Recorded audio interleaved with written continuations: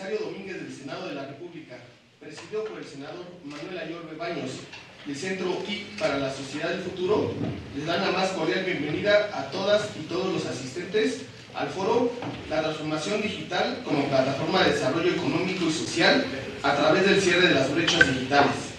Saludamos también al amable público que nos acompaña a través de redes sociales y el canal del Congreso. La finalidad de este foro es presentar la iniciativa ConectaMex, la plataforma para la transformación digital de México, de Centro I, para dar paso a la discusión por parte de las personas expertas en distintos campos relevantes, donde su intervención enriquecerá el debate.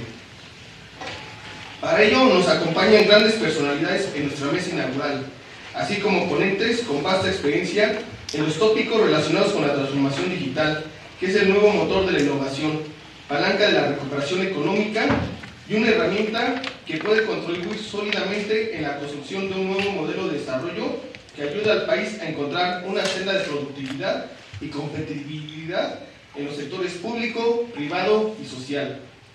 Para inaugurar este encuentro nos acompañan la senadora Claudia Edith Anaya Mota, secretaria de la Comisión de Economía y Gobernación, el maestro Javier Juárez, comisionado presidente en suplencia del Instituto Federal de Telecomunicaciones, la profesora Esperanza Ortega Sá, presidenta nacional de la Cámara Nacional de la Industria de la Transformación, Canacintra. La doctora Elena Estavillo, directora general del Centro I, y el doctor Vladimir Ramos, en representación del senador Manuel Añorbe, presidente del Instituto Belisario Domínguez del Senado de la República. Para comenzar e inaugurar formalmente este foro, el doctor Vladimir Ramos, en representación del senador Manuel Añorbe, presidente del Instituto Belisario Domínguez del Senado de la República, nos dirigirá unas palabras. Adelante, doctor Ramos.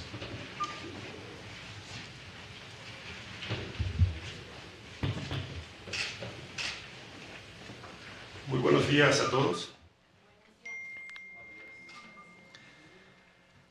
A nombre del senador Manuel Añorbe Baños, guerrerense destacado y presidente del Instituto Belisario Domínguez.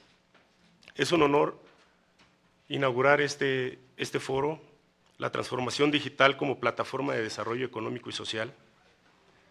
Como guerrerense, el senador Manuel Añorbe tiene plena conciencia de lo importante que es la inclusión en los sistemas digitales, en los ecosistemas digitales.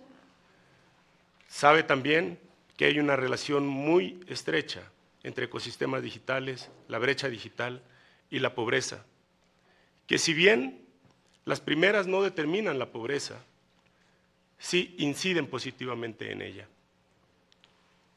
México es uno de los países en América Latina con mayor acceso a las redes sociales, pero no con mayor penetración de Internet, donde los estados con mayor pobreza no solamente presentan rezagos en el sistema educativo, en la alimentación, sino el acceso a la información como herramienta vital para el desarrollo social.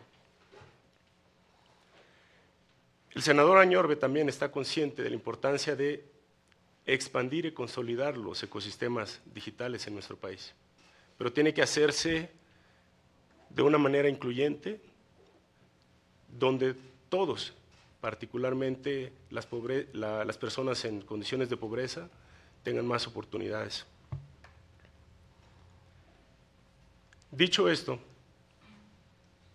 a la senadora Claudia Edida Naya Mota, secretaria de la Comisión de Economía y Gobernación, de parte de su amigo el senador Manuel Añorbe, muchas gracias por honrarnos con su presencia.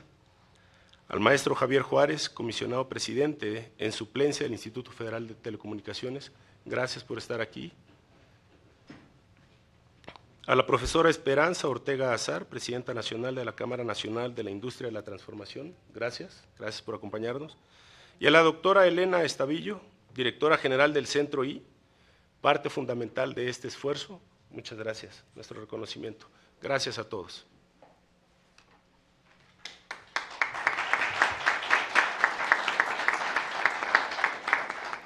Muchas gracias, doctor Ramos. A continuación, la doctora Elena Estavillo, directora general del Centro I, dirigirá unas palabras de bienvenida. Adelante, doctora Estavillo. Muchas gracias. eh, y buenos días a todas, a todos. A nombre del Centro I para la Sociedad del Futuro, les doy la bienvenida a las personas que se encuentran en, en este recinto y también a quienes se conectan a través del canal del Congreso, el sitio de internet de Centro I y en nuestras redes. Y agradezco en primer lugar al Instituto Belisario Domínguez del Senado de la República por habernos abierto las puertas y por todo el apoyo que nos han brindado para la realización de este foro. Es la transformación digital como plataforma de desarrollo económico y social a través del cierre de las brechas digitales.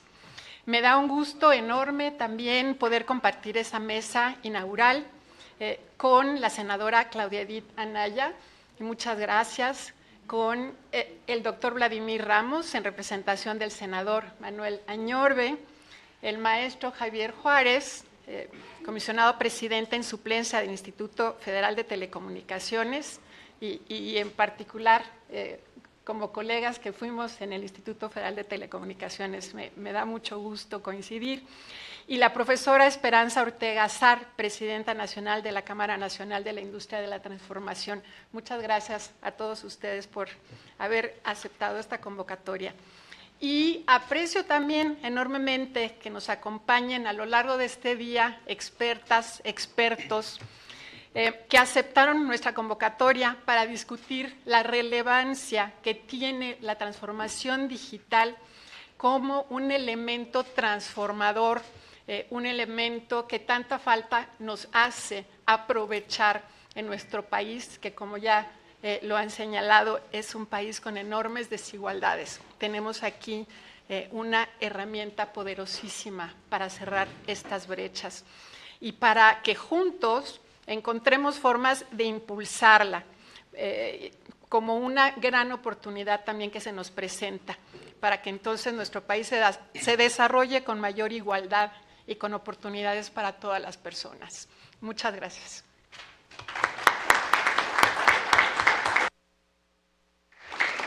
Gracias por su mensaje, doctora Escabillo. Ahora es el turno de la senadora Claudia Edith Anaya Mota, quien nos dirigirá un mensaje. Adelante, senadora.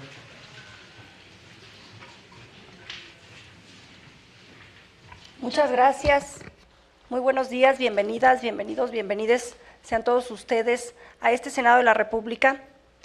Para nosotros es muy importante su presencia, distingo particularmente a quienes nos acompañan el día de hoy en el Presidium, a todos quienes serán ponentes en este importante encuentro, a quienes el día de hoy se dieron el tiempo y el espacio para venir y a quienes nos acompañan a través de todos los medios. Este encuentro ha sido organizado por el Centro I, que busca garantizar conocimiento enfocado en el comprender la profunda transformación económica y social que están generando el ecosistema digital y las tecnologías exponenciales, así como por el Instituto Belisario Domínguez del Senado de la República, que además de realizar investigaciones estratégicas sobre el desarrollo nacional y análisis de coyunturas en asuntos de competencia de esta Cámara, contribuye también a la deliberación y la toma de decisiones legislativas por medio de estos espacios de diálogo. Desde aquí saludo al presidente del Instituto Belisario Domínguez, nuestro compañero senador eh, eh, Manuel Baños, Manuel Añorbe Baños, que desafortunadamente hoy no pudo estar con nosotros, pero estoy cierta que Vladimir le hará llegar puntualmente la narrativa de este encuentro. El acceso a la información ha democratizado el acceso a los datos y ha permitido que personas de todo el mundo tengan acceso a conocimiento y recursos de forma instantánea, lo que brinda oportunidades de aprendizaje y desarrollo de las comunidades. Un ejemplo de este acceso a la información y a la educación fue gracias a las tecnologías de información y comunicación, que son las acciones que se implementaron en la pandemia como consecuencia de las medidas para mitigar los contagios en las escuelas que tuvieron que cerrar sus aulas. Sin embargo, 2.2%, que representó 33.6 millones de estudiantes, no concluyeron el ciclo escolar. De ellos, el 16.6 no finalizó este ciclo escolar derivado de la carencia de una computadora u otro dispositivo de conexión a Internet. Por lo tanto, se demuestra que si bien la transformación digital brinda oportunidades de continuar con el aprendizaje a distancia, también hace evidente que aún existe una brecha digital entre estudiantes de distintos niveles, que provoca rezago educativo en un grupo de ellos profundizando la desigualdad. En segundo lugar, la transformación digital ha incrementado la inclusión financiera, ampliando así los accesos a servicios bancarios y financieros, especialmente en zonas que han sido subatendidas. Desafortunadamente, la conexión digital a Internet no es eh, accesible en la mayor parte del país, lo que sigue provocando que millones de personas sigan gastando más en servicios que otros que tienen mayores condiciones económicas tienen la posibilidad de realizar pagando menos a través de sus bancas digitales. Sumando lo ya comentado, la digitalización ha mejorado el acceso a servicios básicos como la salud, ya que han aplicado soluciones de telecomunicación para llegar a áreas remotas y propiciar servicios de calidad a aquellos que antes tenían un acceso limitado. Igual manera, existen límites que han impedido que las personas que viven de una mayor desigualdad tengan acceso a estos servicios. Desafortunadamente no hay la suficiente inversión para que la telemedicina sea una realidad en las áreas rurales más necesitadas. Así, la transformación digital ha demostrado con un sinnúmero de evidencias ser una plataforma sólida para impulsar tanto el desarrollo económico como el desarrollo social. Pero necesitamos como país seguir invirtiendo. Y también, como Senado de la República, nos debemos de comprometer a regular, particularmente a regular en el aspecto laboral para evitar despidos masivos de recursos humanos a consecuencia pues, de las nuevas innovaciones digitales. Todo tiene que tener un equilibrio y todo tiene que tener un sentido para que unos no queden por encima de otros. Por ello es importante el diálogo, por ello es importante escuchar a los expertos y por ello es importante también hacer compromisos desde cada instancia. Sean bienvenidos nuevamente, vamos a escuchar con mucho detenimiento y con mucha atención a todos quienes expongan el día de hoy para también tratar de hacer compromisos legislativos desde el Senado y de investigación desde el Instituto Belisario Domínguez. Muchas gracias.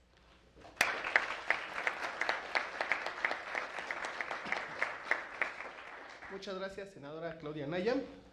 A continuación, el maestro Javier Juárez, comisionado presidente en suplencia del Instituto Federal de Telecomunicaciones, ofrecerá unas palabras de bienvenida. Adelante, maestro Javier Juárez. Gracias. Buenos días a todas y a todos.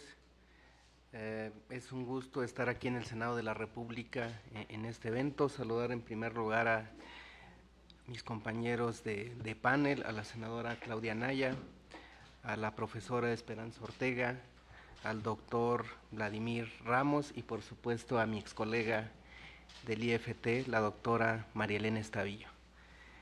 Eh, eh, es muy común que cuando uno va a estos foros, conferencias sobre la transformación digital o en general sobre nuevas tecnologías como inteligencia artificial y este mismo de transformación digital, pues se llega a la conclusión de, de la relevancia por el impacto transversal que tiene, de que sean, que se construyan diálogos con estas múltiples partes interesadas, multi-stakeholders, y con toda la sociedad, pues. Eh, sin embargo, pues es más fácil decirlo que hacerlo. Por ello creo que es sumamente relevante estar aquí hoy en este foro de la transformación digital como plataforma de desarrollo económico y social a través del cierre de brechas, en la que precisamente se está lanzando la plataforma Conectamex. Y creo que lo que hace e, este foro y la plataforma pues es convocar ahora sí que de manera incluyente a todos los interesados para tener este diálogo en torno a la transformación digital y eso creo que es eh, sumamente relevante y hay que reconocerlo. ¿Y, ¿Y por qué es relevante tener esta participación de todas las partes interesadas? Pues porque precisamente, y ya como se ha referido aquí, pues estamos ante una transformación que tiene la capacidad de reducir la desigualdad. Y esto no es solamente retórica, no, no, es, no es solamente discurso. En un reciente estudio que liberó eh, que, llevó a cabo el Instituto Federal de Telecomunicaciones, pues los hallazgos que tenemos es que efectivamente, y, les do, doy un par de datos que tienen que ver con esto, en la medida que se incrementa en un punto porcentual el uso de computadoras en los hogares, pues el índice eh, de desigualdad eh, disminuye, de desigualdad en ingresos, disminuye en un 7%. Igual cuando aumenta un punto porcentual el uso de teléfonos celular, de celulares en los hogares, el índice de marginación mejora en un nuevo por ciento. O sea, estamos pues ante herramientas, eh, e, esto de la conectividad y de las tecnologías de la información y comunicaciones, ante herramientas que mejoran la calidad de vida de las personas y de ahí la, la dimensión social que esto tiene y que se refleja en el propio eh, título de este foro. Eh, en la parte económica creo que no podemos ser omisos a la coyuntura histórica en la que nos encontramos como país. Me refiero a esto que se conoce como el nearshoring o la relocalización de, la producción. Eh, esto se han hecho algunas estimaciones y de aquí al 2030 podría tener una contribución adicional en el Producto Interno Bruto de México del 9%. Entonces es algo sumamente relevante, pero para eso por supuesto que se requiere, y recordarán ustedes que, tuvimos este debate en, cuando se veía lo de la planta de Tesla para Nuevo León, del agua, pues ciertamente se requiere infraestructura, redes hidráulicas, como esto que ya se debatió en Nuevo León, eh, redes de, transporte también, pues al final de cuentas esos productos se tienen que mover a los mercados donde está la demanda, la parte de energía, todas eh, estas eh, fábricas, eh, to, toda esta industria va a requerir eh, energía, pero por supuesto de manera transversal a todas estas redes, la hidráulica, la de transportes, la de energía, pues están las telecomunicaciones. Si queremos sacar provecho y que México realmente sea un jugador importante en esta relocalización de las inversiones, requerimos una robusta infraestructura digital y ahí está precisamente eh, la, parte de telecomunicaciones. Yo, yo, creo que hay varios temas que se tienen que atender, algunos de, de, ellos hasta sobrediagnosticados, les diría. Por ejemplo, el del costo del espectro radioeléctrico. México a nivel internacional es de los más caros en, en, en cuanto a lo que pagan los concesionarios por utilizar el espectro radioeléctrico. Según estudios que ha realizado el IFT, 60% arriba de la mediana internacional. E ese es un tema de fondo, no es solamente eh, un, un, tema de los concesionarios o del IFT, debe de verse como un tema de Estado porque impacta transversalmente en la competitividad del país y al final de cuentas en el beneficio social que pueden tener los usuarios al tener más acceso a computadoras celulares, pues ya vemos se reducen los niveles de desigualdad. Y, el otro que también está sobrediagnosticado es la facilidad para el despliegue de infraestructura.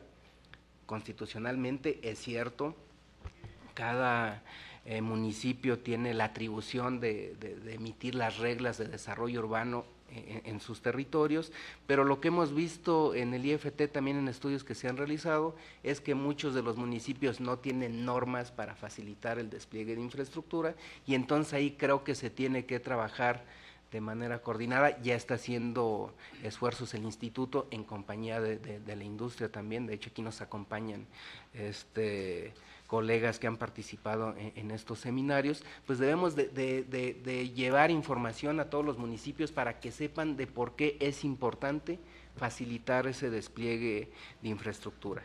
Eh, creo que este tipo de encuentros, eh, pues justamente ponen sobre la mesa estos temas relevantes para facilitar la transformación digital. Yo felicito al Centro I, al Instituto Belisario Domínguez y a todos los que están involucrados en esta iniciativa. Me parece fundamental que estas discusiones se realicen como se está realizando el día de hoy aquí en el Senado, porque a través de este diálogo abierto, pues es que creo que justamente se van a encontrar las mejores soluciones para avanzar en esta agenda de transformación digital por lo que hace al Instituto Federal de Telecomunicaciones, pues que lo sigan viendo como un órgano técnico, asesor, eh, una institución del Estado mexicano, por supuesto, y comprometidos para que la conectividad y la transformación digital llegue a todos los rincones del país. De hecho, con esa idea, justamente desde el año pasado hemos creado y, buscando institucionalizar la transformación digital, se creó en el IFT la Oficina de Transformación Digital con la idea de impactar tanto al interior, ya se han eh, establecido e implementado diversos proyectos de transformación digital al interior del IFT, pero también hacia el exterior. Hemos venido realizando foros que tienen que ver con transformación digital en, la educación, transformación digital en, la agricultura. De hecho, aquí la profesora Esperanza Ortega nos acompañó eh, eh, en este foro.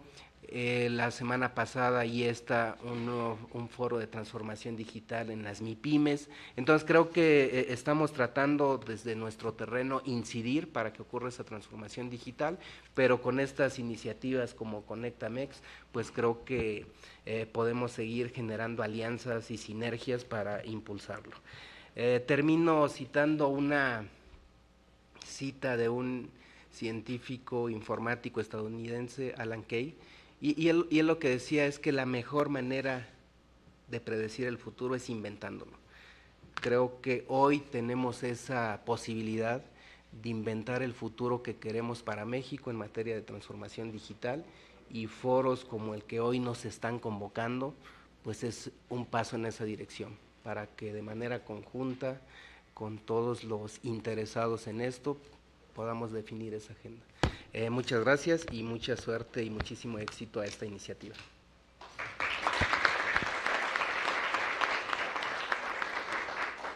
Muchas gracias, comisionado Juárez. Toca el turno a la profesora Esperanza Ortega Sar, presidenta nacional de la Cámara Nacional de la Industria de la Transformación, Canacintra. Tiene usted el uso de la palabra, profesora. Muchísimas gracias. Muy buenos días antes de iniciar, quisiera agradecer al Centro y al Instituto Belisario Domínguez el haber corrido esta invitación a la institución que represento, que es Canacintra, la Cámara Nacional de la Industria de Transformación, en la cual tenemos el compromiso de coadyuvar en los esfuerzos de todo lo que sea en beneficio de la industria nacional, de la empresa, de la sociedad en general, pero este compromiso va más allá de lo que podemos hacer. Eh, al doctor Vladimir Ramos, en representación del senador Manuel Añorbe, presidente del Instituto Belisario Domínguez del Senado de la República, eh, hágale llegar nuestros saludos al senador, porque verdaderamente el poder participar en estos foros es llevar la voz de los industriales y llevar la voz de los industriales en las necesidades y también ser de manera propositivos. A la doctora Elena Estavillo, que siempre ha confiado en nosotros, directora general del Centro I, muchas gracias. A la senadora Claudia Edita Naya Mota, secretaria de la Comisión de Economía y Gobernación del Senado de la República, y al maestro Benjamín, eh, Javier Juárez, perdón, con quien hemos estado trabajando de cerca en el Instituto Federal de Telecomunicaciones, quien es hoy el comisionado presidente. La transformación digital el día de hoy, yo creo y me convenzco cada día más al asistir, como el día de hoy, a un foro como estos, que es un componente clave en una estrategia de transformación de negocios y en general no solo es el único factor, pero sí es crítica para el éxito o el fracaso de cualquier iniciativa y de nuestras empresas y de nuestras industrias si no nos adaptamos hoy a esta transformación digital que ha ido más rápido de lo que pudimos imaginar. Que como bien Javier hizo mención del el tema pandémico, sí, en ese momento no estábamos preparados, yo creo que continuamos preparándonos, pero nos enseñó que hay que ir siempre con un paso adelante para poder enfrentar y reducir esta brecha de desigualdad entre los que no pueden acceder a la conectividad y nosotros con lo que podamos hacer. Y en el Senado de la República y en el Instituto Belisario Domínguez que den oportunidad a esta iniciativa para generar políticas públicas, que es lo que en realidad nos hace falta. Eh, sabemos, conocemos, pero no hay una legislación en la cual nos podamos apoyar. Las, las tecnologías se han adecuado y se adecúan a las personas, a los procesos y a las operaciones. Esto nos da oportunidad tanto en las industrias, las empresas, en el sector eh, público, en el privado, en las diferentes empresas, porque tenemos la obligación de adaptarnos de una manera más rápida. Las grandes oportunidades que hoy se nos presentan y hablar de transformación digital es porque la sociedad y nuestras industrias puedan competir de mejor manera, ya que la tecnología evoluciona día a día y es necesario para cualquiera que busque sobrevivir en el futuro de la inmediatez y por ende tener un crecimiento económico, además de fomentar el desarrollo social incluyente. Es necesario hoy nuevos modelos de trabajo, ya que la primera de las cuatro revoluciones industriales fue el poder del vapor, del vapor tecnología más disruptiva y que cambió al mundo. En segunda fue la línea de montaje, la tercera, la computadora, y hoy estamos precisamente en la cuarta revolución industrial, y es la digital. Las tecnologías digitales inteligentes, como la inteligencia artificial, que provino de uno de los padres fundadores, Martín Minsky, quien la describió como la ciencia de hacer que las máquinas hagan cosas que requerirían inteligencia si las hiciera el hombre.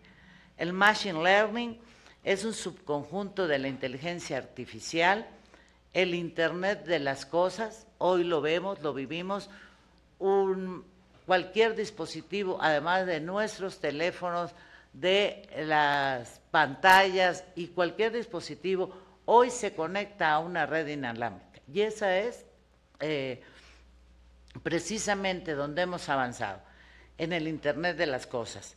Eh, y las analíticas avanzadas, que es una eh, información básica y que es un campo en el cual se utiliza matemáticas, estadística y el machine learning para descubrir patrones significativos.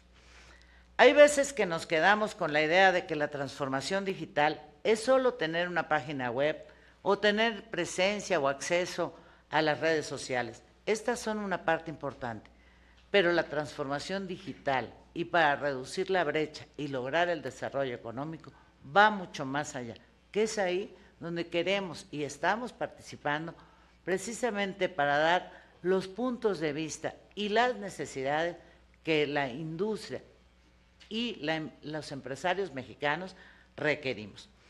Por eso hoy requerimos implementar una transformación digital como plataforma para el desarrollo económico y social e ir así cerrando las brechas de desigualdad y nos debemos de plantear para esto estrategias, procesos, tecnología y una cultura organizacional.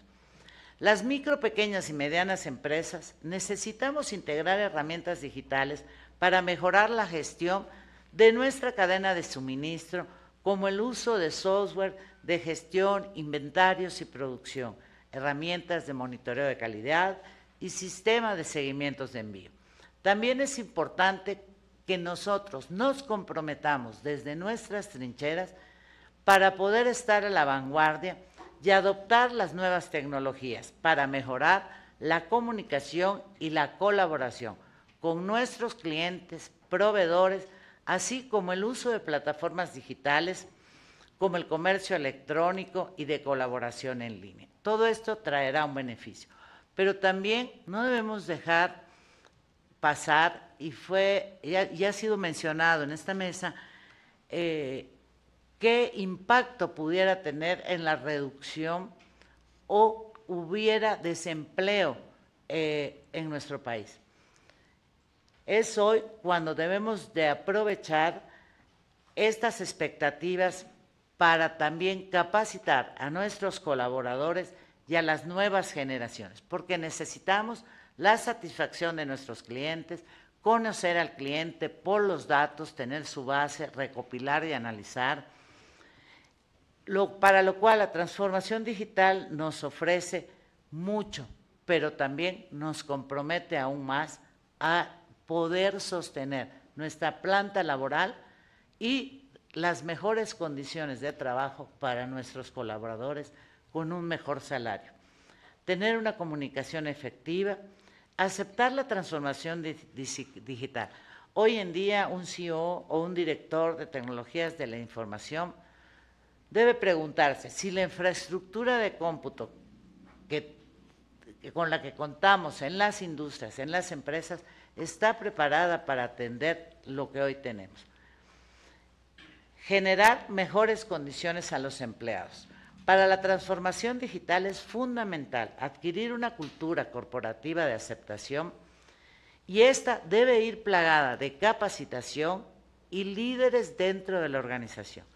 Esto aumentará la eficiencia operativa y la transformación digital ayudará a consolidar los procesos, reducir costos y estos alineados a los sistemas administrativos, a permitir un crecimiento digital futuro en beneficio de toda la industria, de todas las empresas, de todas las organizaciones público, privadas y demás.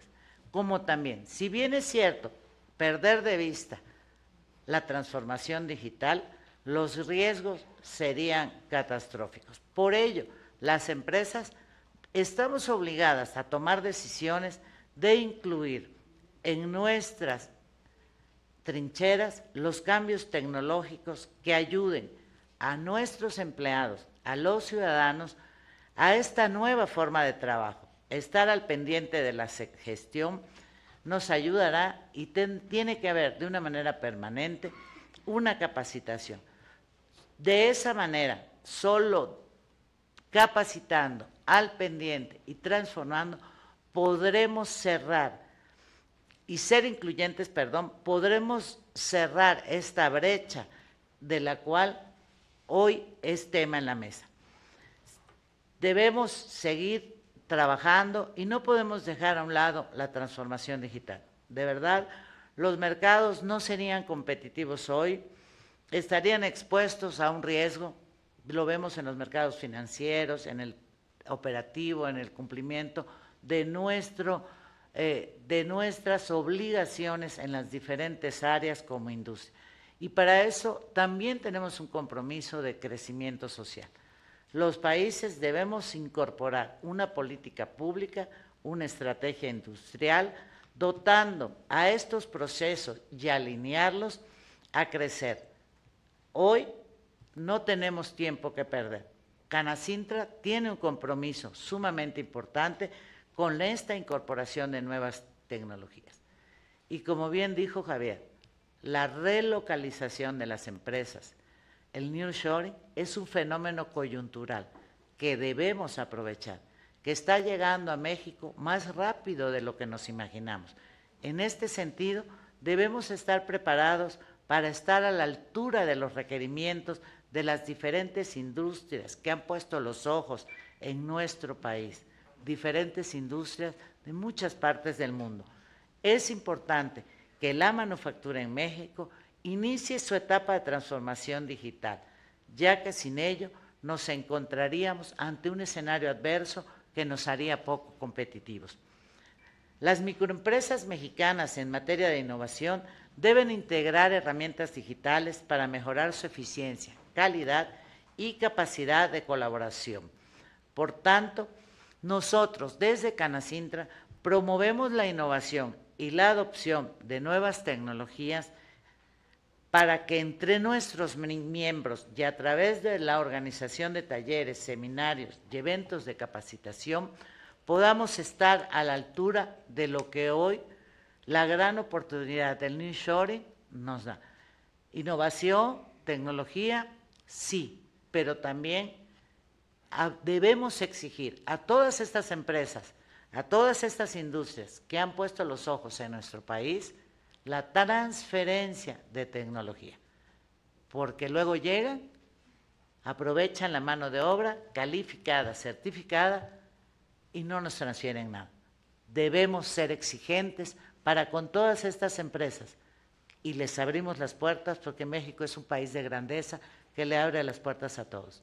Y nosotros desde Canacintra se las abrimos también, pero también pedimos esa transferencia de tecnología, que si bien la ley de algunos estados la ley nacional lo puede contemplar, ellos no lo hacen al llegar a los estados.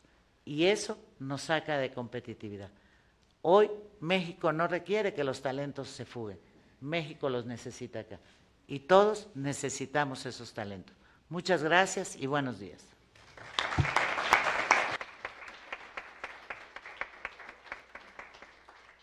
Agradecemos las palabras de la profesora Ortega y después de esos mensajes de bienvenida, la doctora Elena Estavillo, directora general del Centro I, expondrá la iniciativa Conectamex, la plataforma para la transformación digital de México. Adelante, doctora Estavillo.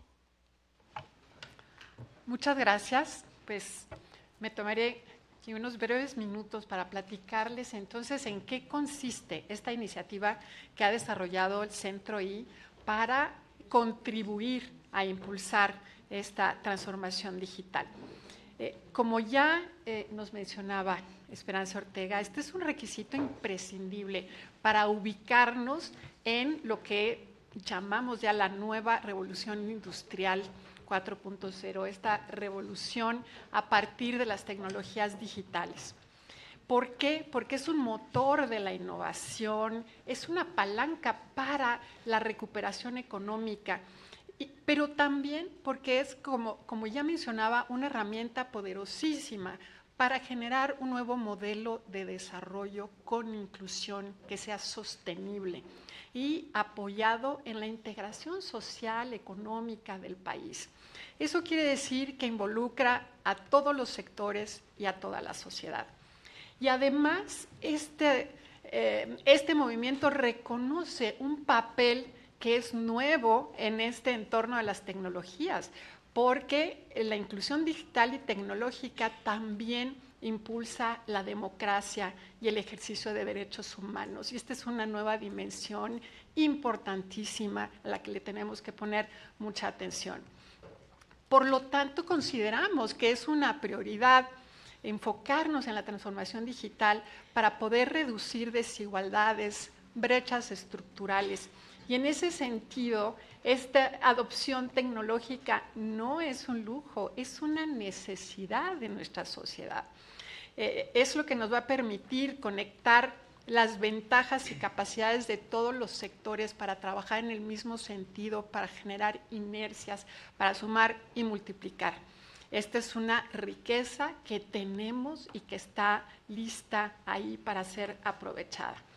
Subirse a esta ola de la transformación digital significa también eh, que dejemos atrás los costos del rezago tecnológico y aprovechar las nuevas oportunidades que nos trae el ecosistema digital para crear oportunidades de empleo, nuevos modelos de negocios, desarrollar nuevos mercados, dar saltos en productividad y competitividad para las, entre las regiones del país, pero también para el país frente a otras regiones del mundo. Para ello necesitamos todo un entorno habilitador, es decir, las condiciones necesarias para que todos los eh, sectores de la sociedad puedan aprovecharlas y generar esta dinámica. estamos hablando de infraestructura, de servicios, aplicaciones, contenidos, plataformas y nuevos modelos de negocios. Y fue eh, pensando en todo esto que el centro I se propuso generar una iniciativa para convocar eh, a la sociedad en, todos sus diferentes ámbitos a trabajar juntos. Y esto es en lo que consiste la plataforma Conectamex. Es una iniciativa de largo alcance, eh, por un lado, para posicionar el tema de la, transformación, digital en la discusión pública y para promover los beneficios que puede ofrecer a toda la población. Eh, ahí tendrán en sus asientos una tarjeta donde pueden encontrar con este código el sitio del Centro I, el micrositio Conectamex y el documento que publicamos, la Plataforma para la Transformación Digital de México, es usando el código QR. Los objetivos de esta iniciativa, ¿cuáles son? Posicionar es visibilizar la necesidad de que contemos con una estrategia para la transformación digital del país, discutirla públicamente y colocarla como una prioridad nacional. También proponer, es desarrollar de forma incluyente, plural, propuestas concretas que nos ayuden a es el cómo, ¿no? cómo lograr un entorno habilitador para esta transformación digital. También queremos ampliar la discusión y eso quiere decir trascender los límites donde generalmente ubicamos estas discusiones, que es en el sector de las telecomunicaciones, de la infraestructura, porque esto concierne a toda la sociedad. Y por eso nuestra convocatoria trata de ser amplia, incluyente. Estamos hablando de educación, salud, seguridad, de desarrollo local, federal. Esto tiene que ser una discusión de, todos los ámbitos y para comunicarla a otros públicos. Queremos impacto y eso se va a lograr sumando a diferentes actores relevantes de todos estos distintos sectores y perfiles. Y además, pues siendo como somos un think tank, un laboratorio de ideas, lo que queremos es generar conocimiento, reunir y generar eh, herramientas, recursos, estudios, diagnósticos, propuestas, guías, documentos de investigación y ponerlos a disposición del público en general, de forma que se facilite la comprensión de estos temas y que puedan encontrar ahí la orientación sobre distintas formas de abordar la transformación digital. Nuestro objetivo es entonces servir como un espacio donde puedan conectarse y colaborar todas las personas, las empresas, las organizaciones públicas y privadas, sociales, académicas, interesadas en impulsar este objetivo. Como primera acción estratégica lanzamos hace algunos meses el micrositio Conectamex, es eh, www.conectamex.mx, que está anidado en la página del Centro I y para ofrecer un marco de referencia también publicamos un primer documento de trabajo que encuentran ahí mismo, eh, donde eh, hablamos de por qué nos debe interesar a todas las personas y organizaciones la transformación digital, también por qué es tan importante y en tres ejes principales, por su impacto en el desarrollo económico, por su impacto en el cierre de brechas, la reducción de la desigualdad, que es lo que nos trae el día de hoy, y también por su impacto en la democracia y en el ejercicio de derechos humanos. El mismo documento también establece de una manera inicial qué necesitamos para construir este entorno habilitador en el país, eh, hablamos de mejores prácticas, con qué contamos en México, porque tampoco estamos en el vacío, hay elementos, pero también hay que hablar de qué hace falta, de qué nos dicen los datos, qué ha funcionado, qué no ha funcionado.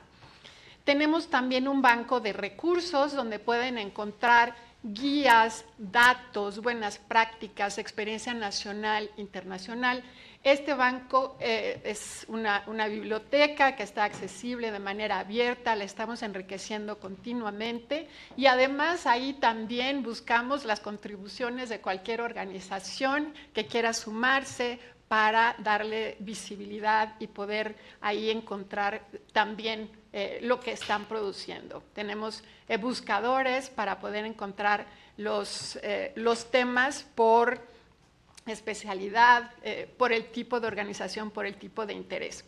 ¿Y, qué nos proponemos? ¿En qué estamos trabajando para darle eh, vida a esta iniciativa?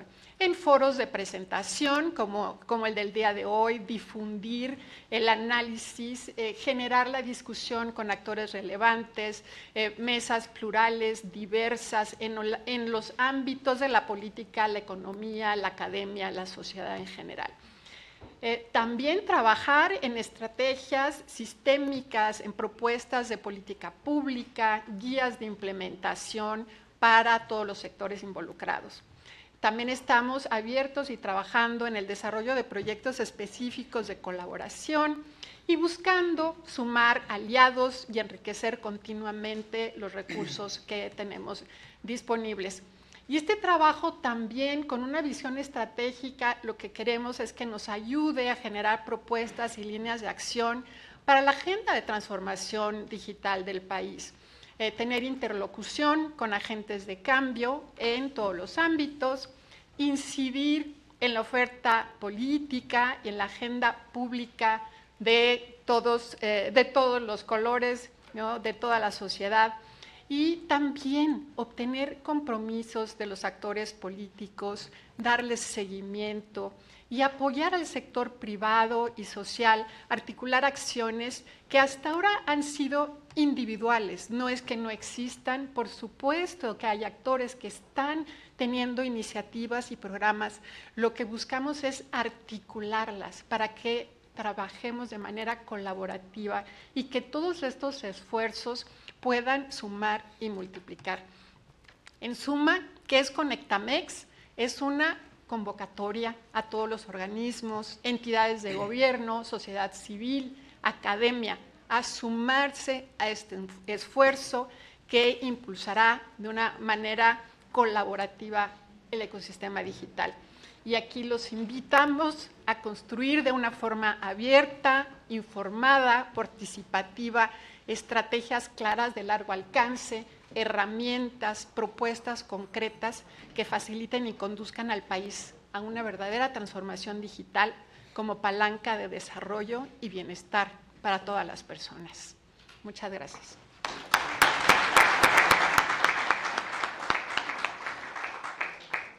Muchas gracias por su exposición, doctora Estavillo. En esos momentos invitamos a nuestras este, distinguidas eh, y distinguidos panelistas a reunirse para la foto oficial del evento, de la inauguración.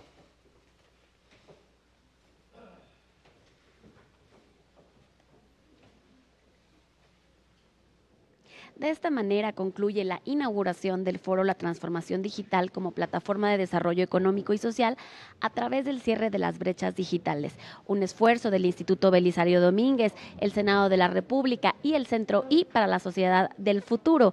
Continuaremos más adelante con el primer panel de trabajo, el ecosistema digital y las telecomunicaciones en México. Gracias por seguir con nosotros aquí en el canal del Congreso.